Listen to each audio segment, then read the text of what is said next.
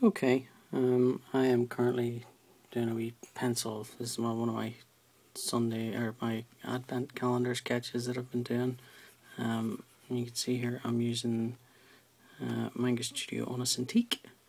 Um, I've set this, I'm using the pen tool which is set up actually, um, it's set up to show depending on the angle of the pen or rather the the um, stylus you'll see here if I do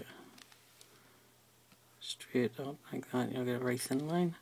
And if I tilt it quite extreme you'll get quite a thick line which means I can draw a circle like that and I can hold the pen.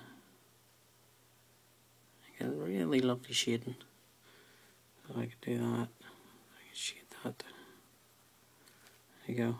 And that's um, the pen that I've set up.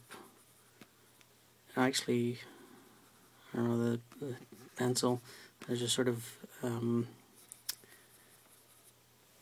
textured pencil but it doesn't have that angled facility. You have to basically alter the settings on it. It's very easy to do um, and I sort of have that on my blog as well so which I'll link to from this so you can see whenever if, if you're getting Manga Studio you'll be able to set up a similar sort of pen or a similar sort of pencil.